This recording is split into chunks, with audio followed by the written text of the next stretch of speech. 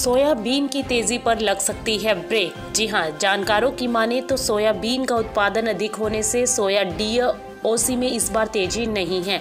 जानकारों का कहना है कि सोयाबीन का रिकॉर्ड उत्पादन होने से इस बार सोया डीओसी में तेज़ी का व्यापार नहीं करना चाहिए।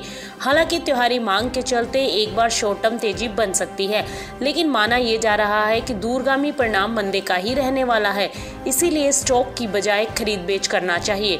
वहीं मध्य प्रदेश, महाराष्ट्र, राजस्थान, आंध्र प्रदेश और कर्नाटक, इन सभी उत्पादक क्षेत्रों के सर्वे से ये बात सामने आई है कि सोयाबीन का उत्पादन इस बार 120 से 122 लाख मैट्रिक टन के बीच रहने वाला है। अभी उत्पादन अनुमान के आंकड़े अलग अलग क्षेत्रों से बार बार आते रहेंगे, लेकिन कुल मिलाकर गत वर्ष की अपेक्षा सोयाबीन के उत्पादन में अब तक 50 फ़ीसद की वृद्धि हुई है। वहीं जहाँ तक फ़सलों के नुकसान की बात है तो माना ये जा रहा है कि मौसम खराब होने से पहले ही नब्बे नब्बे फ़ीसद की कटाई हो चुकी थी, जिससे फ़सल को मामूली नुकसान हुआ है और वहीं सोयाबीन की इस बार बिजाई कम से कम दोगुनी हुई है।